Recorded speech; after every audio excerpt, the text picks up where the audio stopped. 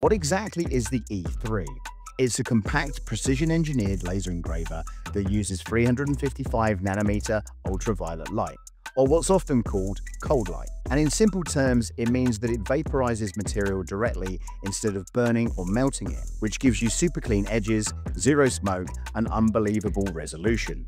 The engraving area here is set to be around about 150 by 150 millimeters, and the entire machine is designed to be lightweight and portable, and notably lighter than most comparable UV systems. The portability adds real value, especially for small workshops and creators who need a professional grade laser that can easily be moved or stored. The E3 is being marketed as an all-in-one laser because it replaces what normally would require four separate machines, fiber, MOPA fiber, diode, and CO2. And that's thanks to that UV wavelength. It can engrave and mark virtually any material, wood, metal, acrylic, glass, leather, ceramics, and even reflective or transparent surfaces. But I think one of the most exciting features is the ability to perform oxidation engraving